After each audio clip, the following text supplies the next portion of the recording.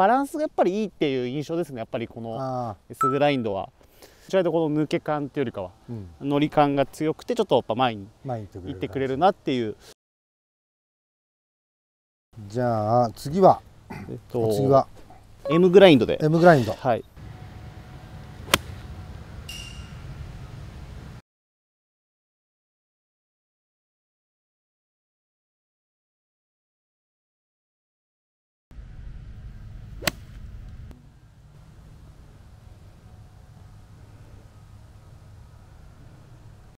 ノーマルですか、そうですね、うんうんうん。やっぱり出玉が結構高い印象はやっぱありますけど。ね。はい。25ヤード。頂点ピークが、うん、やっぱりこれもやっぱ本当同じような感じになっちゃうんですけど、やっうん、ぱ抜け感が強いですよね。こっちの方がやっぱりだからバランスが抜けの方がちょっと多くなるって感じですよね、はい。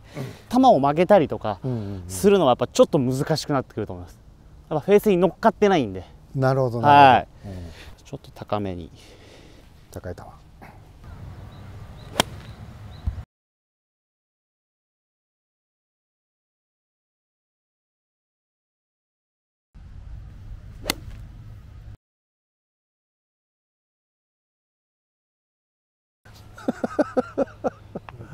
はい。1万2000回転です、ね。はい。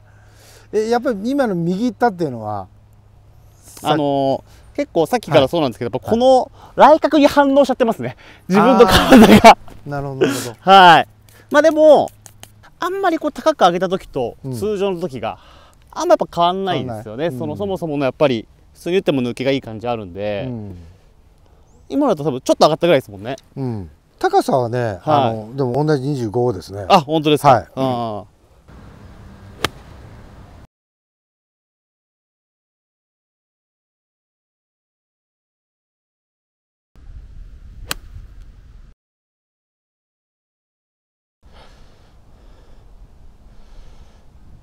ちょっと多分今風が一瞬フォローになっちゃったんで飛んじゃいましたけど、ちょっと風はい変わりましたね、うん。あでも比較的はい。曲がんないのかなと思いましたけど、うん。意外と乗ってくれましたねフェースにも、うん。まあでもドローはうん。その中でもうん。まだこう包み込むような感じで打つんでやりやすいといえばやりやすい。なるほど。かなっていう部分はあるんで。じゃあポイントはスライス、スライスが一番ちょっとそうですね、うん。あれかなとは思うんですけど。あと低い球ですね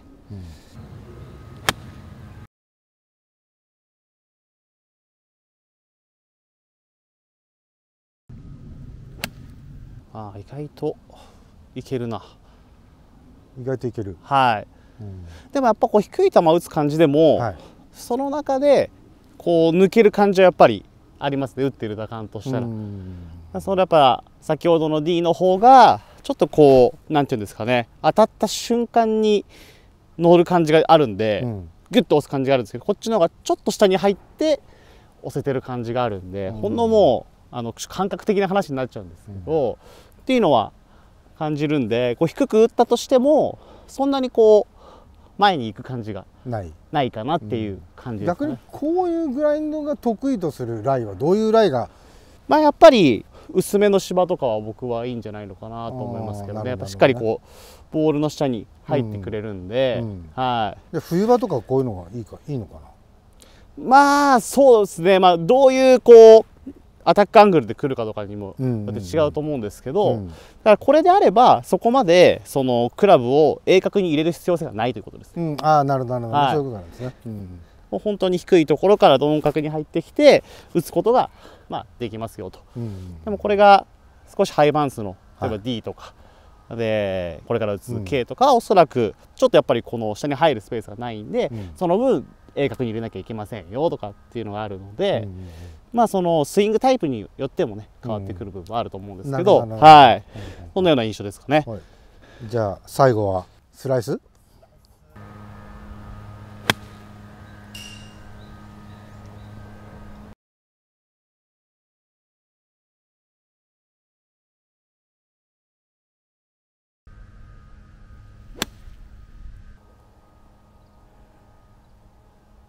うん。うん、でもやっぱりこれもぬ抜けはやっぱいいですよね。うん。はい、うん、でもやっぱりこの M グラインド面白いのはうん。抜けいいんですけどでもフェースにも乗っかってくれるっていうのがやっぱりうん。いいですね。あのまあ、ウェッジによってはあ抜けはいいけど全くフェースに乗ってくれないよっていうウェッジもあると思うんで、だからその抜けの気持ちよさはその打ってる打感としてうん。その残しつつかつフェースにも乗ってくれるっていう、うん。はい。だからあとはこのなんていうんですかねインパクトが当たった時のこの抜けた気持ちよさうん。っていうのがその方によって違う部分っていうのがあると思うんで、まあ、ここもその好みというか、うん。はい、変わってくる部分があるのかなと。ただこっちは油断すると飛ばなくなることがあるのかなと。ああなるなるね。はい。うん。だからそういうミスはあの D ぐらいのはないのかなって。うん。はい。わかりました。じゃあはい。ちょっと最後 K グラインド K グラインドはい、はい。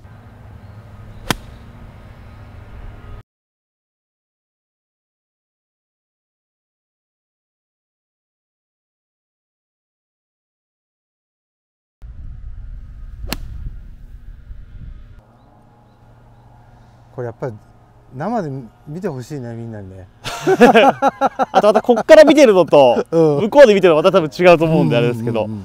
うんどうですか？うん。やっぱりこれもやっぱ D に近いなっていう感じはしまああなるほどす、ね、うん。乗る。乗る感じと、まあ、今の一発に関しては当たってからちょっとこのクラブがずずずっと横にこうなんていうんですかね入っていく感じがちょっと。うんあったかなっていう。でこれがやっぱこのワイドソールの分その感じが少し出るんですかね、やっぱ D もそうだけどまあ乗るっていうのはやっぱ総じてスピン量多いですね。ああやっぱそうですかね、うん。はい。はい。じゃあ続いて。じゃあちょっとドロー回転を。はい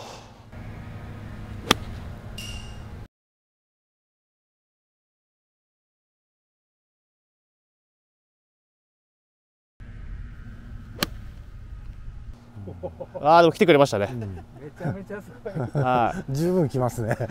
あーめちゃめちゃ来ましたね。はい。まあでもやっぱり、うん。その乗る感じは強いんでう、ん。で今なんかもうん。多分まあまあ左には来てると思うんですよね。いやそう普通全然来てますよ。ピーマン全然来てますから。はい。じゃあちょっと高めの。はい。影玉はい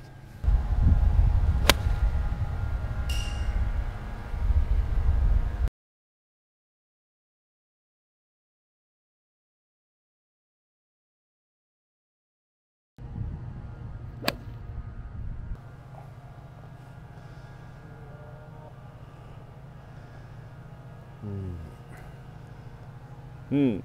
まあ今のもね26ヤード。はい。高さ。はい。でスピン量が1万1574だから。はい。やっぱり D もね K もスピン結構入りますね。そうですね。やっぱり、やっぱ上げにいってるけどやっぱ乗ってる感じだと強いんで、うん。あんまこう手前になりづらいですよね、うん。はい、しっかり距離が、出てくれる。はい。うんまあ、もちろんもうちょっと上げようと思えば上がるっていう部分もあるんですけど、うん。ある程度この距離をそれなりに打てるってことを考えると、あのぐらいの高さはい。うん。やっぱ違いますね。違いますね。はい、うん。じゃあちょっと低めのはい。ショット、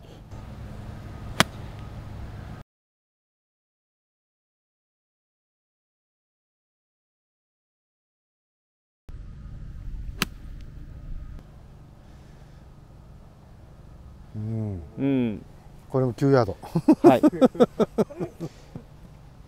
打感というかやっぱこの打ってる感じがしっかりしてますねやっぱりね。ああなるほどね。はい。うん。このやっぱ芝生を絡む感じというか。うん。はい、うん、その辺がそのやっぱアプローチよりもショットの方がうん。やっぱ強くヘッドスピードもうん。出てくるんで、より感じますよね、うんうんはい。でもやっぱ押してってくれる感じがすごいうん。強いですこれも。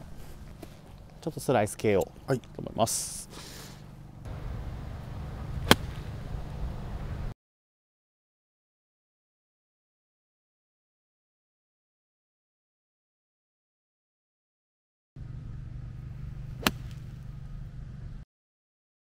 ちょっと弱いかな。うん。うん。でもめちゃめちゃうん。乗っかる感じはあります、あなのでやっぱコントロールしやすいですね、ーうん。はい。やっぱ抜ける心配があんまないというか、うん。はい。えータイトリスト合計 SM9 はい、えー4モデル打ってもらいましたけれどもちょっと総評いろいろちょっと聞かせてもらっていいですか？そうですね。まあちょっと K と D はだいぶ似てるところっていうのがうん。あるんであれですけど、まあ、S から行くと、まあ、良くも悪くもうん。ちょうどなんかいろんなこう中間地点にいるはないっていう感じがあるんで、うん本当まあオーソドックスなうん。ウェッジででまあ本当いろんなことをしやすい、うん。まあ、ウェッジなのかなと。うん。なので、まあ、もしかしたらアマチュアの方とかには、うん。なんかいろんなショットが出てしまうっていうところながあるかもしれないんで、まあ、そういった部分ではちょっとマイナスに働くことあるかもしれないですけど、うん。でもこのウェッジがどういう風になったらこういう球になるよとかっていうのを分かっていくと、うん。なんかいろいろこう楽しめたりとかスキルアップにつながるウェッジかなと思いましたし、うん。でやっぱ D グラインドは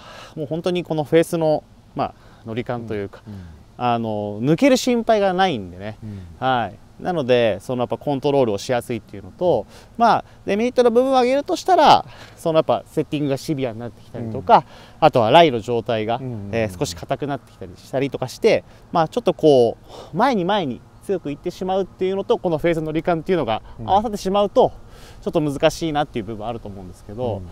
ただまあ通常営業だったりとか、うん。はい、あとは、まあ、ちょっと今日フェアウェイとかうん。オンリーでしたけど、まあ、ラフとかでもなんかこの下をくぐって手前になるっていうのが少ないでしょうから、うん。そういった部分ではいいのかなっていうふうに思いましたね。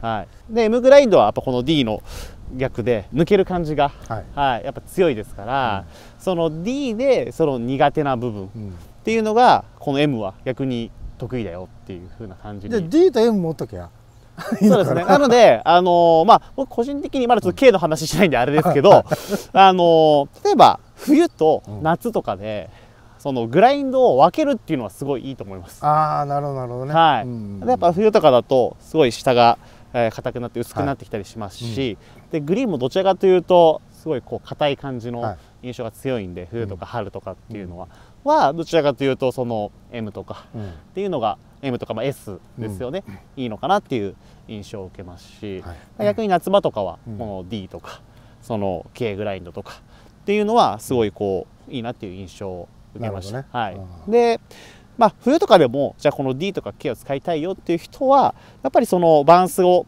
使ったりとか、うん。ソールを滑らすっていう部分でまあショートアプローチだったらもう手前から入ってもいいかなっていう感じで少しこう低いところをうん。その通すような感じで、うん。手前のミスはちょっと許容してくれるよねっていう感じであえて使いたいっうん。ていうのはいいと思いますし、はい。あんまりフェースをこう開いたりしなくてもいいのかなっていう気はします。そんな感じですかね。わかりました、ありがとうございます。まあちょっとねまだまだ今度今日ね一日打っただけなんでこれかはい。らちょっといろいろまあ皆さんからリクエストもあればね、はい。なんかもうちょっと徹底的にねいろんなライからのあの指導もねこうやってみると面白いかなと思いますんで、はい、はい、そうですね、まあじゃあ最後にちょっとご覧になってくれた皆さんにはい。伊沢さんの方から。あの最後までご視聴いただきありがとうございました、えー今回のシダ動画はですね。結構いろいろなクラブをですね打って、えーまあ、今日はその、まあ、基本的なショットが多かったと思うんですけどあの、まあ、僕なりに伝えさせてもらいました。今後はですね、まあ、今日ここで話せなかった部分えーもうちょっとこのクラブに特化したやつをなんかもう僕らしくできたらなと思いますので今後もちょっとそこを楽しみにしておいてください、えーそしてあの高評価ですね、えー、とチャンネル登録の方、えーよろしくお願いいたします。ありがとうございました。アンダーパーゴルフクラブ、えーこのチャンネルではですね、えー僕の得意としている、えーウェッジを中心とした、えー内容になっております、えーチャンネル登録と、高評価よろしくお願いいたします。